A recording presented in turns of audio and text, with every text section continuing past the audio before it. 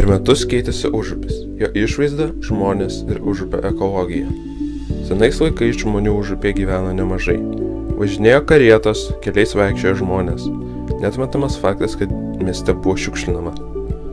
Seniau rūbus skaudavo Vilnelėje, kuo jie labai tarždavo.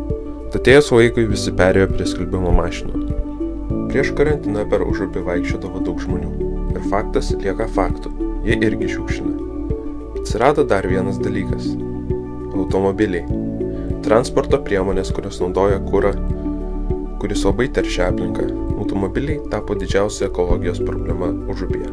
Dabar karantinas ir bet koks judėjimas tarp savivaldybių yra uždraustas. Tam, kad apsaugoti žmonės nuo susirgymo virusu COVID-19. Šis apribojimas paveikia užupį ne mažiau nei kitą Lietuvos dalį.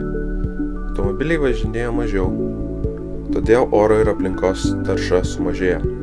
Sakyti, kad užupis tapo ekologiškesnis negalima, nes daug faktorių nulėmė šitą dalyką. Todėl mūsų manimo užupis tapo net labiau užterštas.